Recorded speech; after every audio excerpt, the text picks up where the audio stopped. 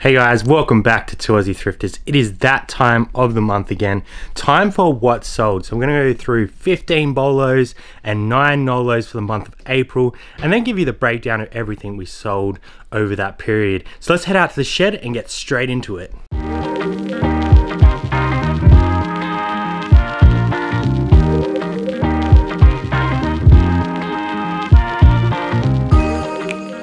Today's What Sold is going to cover mostly hard goods and shoes, actually all hard goods and shoes. We are going to talk about 15 bolos, 5 nolos, and 1 Poshmark sale.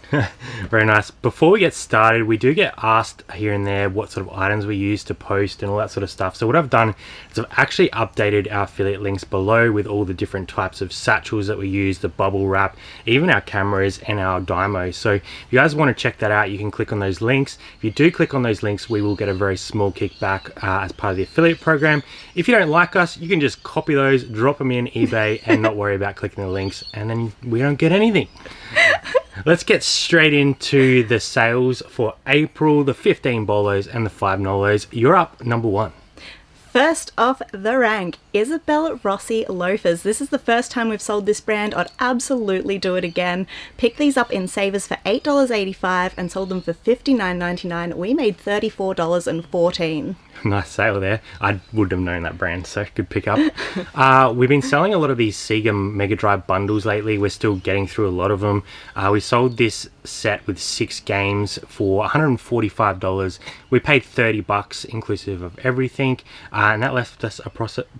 Appro approximately profit of $71.25. Lovely. We sold a PS3 game. This one was Katam Katamari Forever. It was an NTSC and we picked it up for a buck and sold it for 45 which means we made $29.25. Nice. This Zelda Twilight Princess oh. gold foil trading card. Oh. So Jazzy found these as part of the gaming lot and we didn't really know what we had and we parted them out. These gold ones go for crazy money. So we sold this one for $111.11. Cost goods 4 bucks, leaving us $82.44 profit. I don't expect to be finding these in the wild, but if I saw like Zelda cards in a folder in an op shop, I'm going to be flicking through to see if there's any golds or even silver foils. 100%. We sold this film splicer. I'm not going to try and pronounce it. It's a German brand. It was in really good condition in its box. We picked it up for two bucks mm. and we sold it for $50. So we made $32.50. Yeah, that was a very cool little item in the in the box. It's not something we grab all the time, but if I saw another one that clean, yeah, definitely. I'd, I'd pick it up. Next up, we've talked about this a little bit on the channel now. It is broken consoles. Mm -hmm. So this one came from that bulk lot we picked up. Obviously, we're going to get good and bad with that lot. We paid $4 for every single item in that lot, so $4 per item.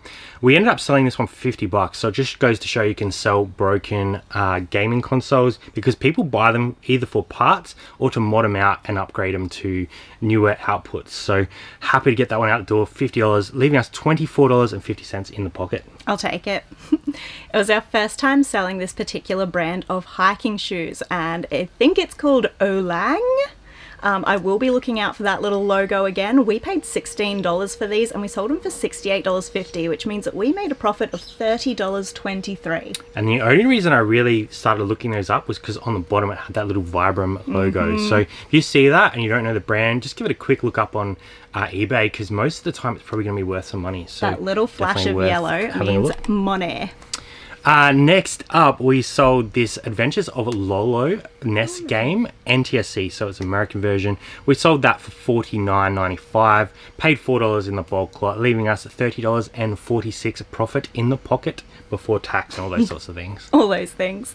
Back to shoes. We sold a pair of Sorel Sorel women's waterproof boots. We paid 14. We sold them for $119.95 and we made a profit of $67.96. This is a brand that we try to pick up every time we see it if it's in good nick. Yeah, Sorel is a great brand, definitely worth keeping your eye out for it when you're in the thrift.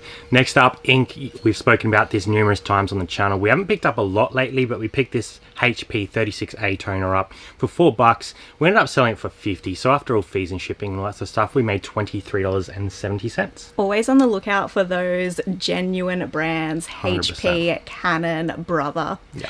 We sold a DVD. It was the Doctor Who series. Um, so we paid a combined total of $2.10 for this set and sold it for $49.95 and we made thirty-one thirty-six. Yeah, so there was like five in the set that we bundled up. So that's a good tip if you guys are picking up this sort of stuff. Is if you have like sort of DVDs, put them together, get your ASP up a little bit higher, and save yourself a bit on postage as well. And I'm really glad that I wrote out one address on the computer instead of five addresses by hand. Hundred percent. Next up, you saw us pick up a while ago a lot of this BMW stuff at the car auction. We sold this filter for forty-three dollars. We paid five bucks each, leaving us twenty-three fifty-five. I'm loving them. They're ticking over. They don't get returned. Definitely. We haven't had many textbooks recently, but I got back in the textbook section at Savers the other week and I found this Australian Political Institutions book. And if you're looking this one up on eBay to check me, there actually weren't comps. Um, I just knew that this was a book that had been used previously and I did check to see if it had had the edition replaced. I couldn't see an update, so I snagged it for four bucks, sold it, I think the next day for 45 bucks. We made 26.25. With textbooks, guys, just always check check if there's a new edition out because that usually renders the old one useless. Yeah, definitely great advice there. Next up, we picked up a Rambo 3 for Sega Master yes. System. We got that in a bulk lot from one of our local op shops. We paid a dollar each for all those games, which was awesome. This one sold pretty quickly for 49 bucks, so that gave us 32.65 profit on that one item. I had not seen the Rambo game before, and we've had a lot of Master System yeah. games through, so bolo. Uh, my other textbook that I picked up on the same trip was the Style Manual, the sixth edition. Again, there were not many on eBay, but I know that this one's in demand and that they are still using the sixth edition. So $4 into $49.95 left us $30.46. Gotta love that. Uh, next up, you actually picked up this Oroton vintage bag. Yes, just now, recently. This is a Poshmark sale, so pretty happy with that one. We were actually with Cara when we found this, and you kind of ran over and you're like, is this I legit? did. Shout out our girl Thrifty Pixie, because I was like, like Oroton? it looks old. Cara, vintage Oroton. And she confirmed that that is a great pickup for $4. We put it on eBay and we put it on Poshmark and it sold on Poshmark in like 27 minutes, I think. Yeah, crazy. So that was a very, very good sale for our second ever Poshmark sale because we made 28 bucks. Yeah, so sold it for 40 and a good little profit there. All right, you guys always like us talking about the nolos. We like to talk uh, about the good and the bad on our channel. So you're shame. not always going to pick up crazy good items when you're in the thrift. A lot of the stuff that we share in the nolos we picked up in like bulk lots or when we're really early on and still learning in the game.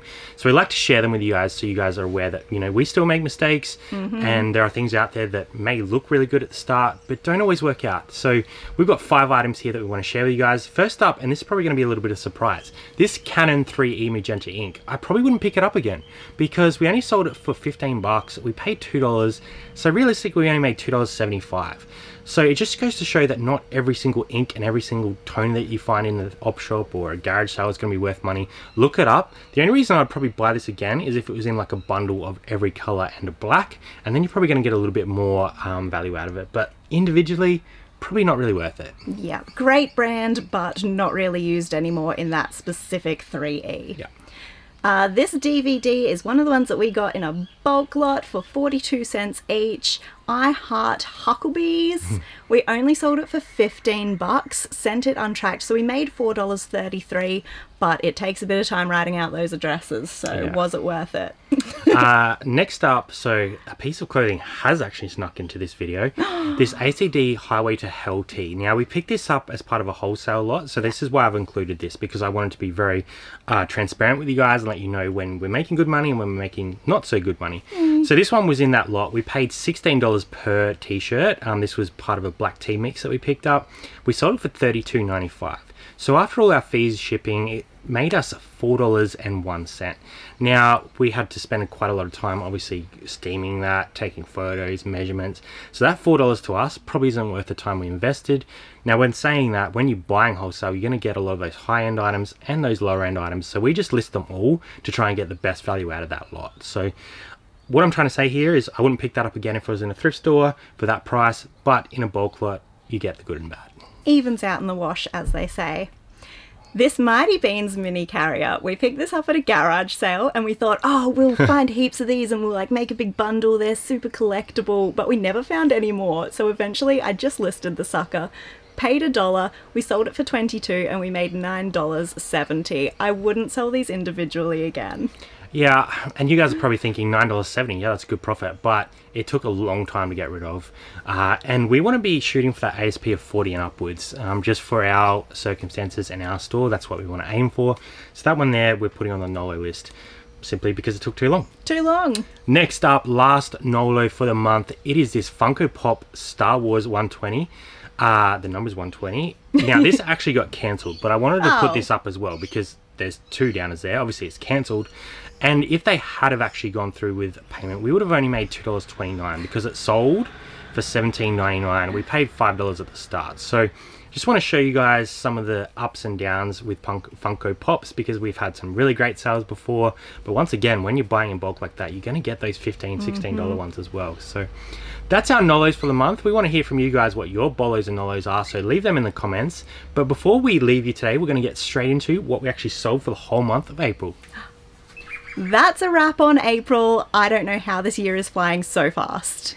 Yeah, so we had a little bit of a slower April, and there's a few factors to that. We had a pretty busy April with a lot of other things. We were trying to relist a lot of items, so we probably didn't get a lot of new items up, although we were sort of still shooting for that, trying to get 20 a day. Uh, and we had a couple returns of Vero as well. Um, but realistically, they're just excuses, and we need to get better at uh, eBay and keep learning. So for the whole month of April, we sold fourteen thousand four hundred and eighty-one dollars sixty-three cents. So we're down about six, seven hundred bucks on last month.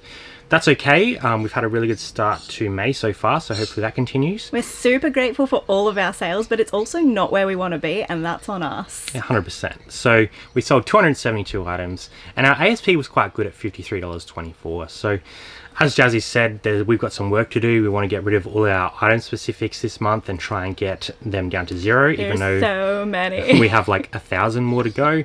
Uh, we want to continue to grow our store and continue to build. So, thank you for joining us on this what sold video. As I said before, let us know in the comments those what solds for you, Nolos and Bolos. Otherwise, leave us a big thumbs up, and we will see you next time on Twirly Thrifters. Love yous. Bye for now. No!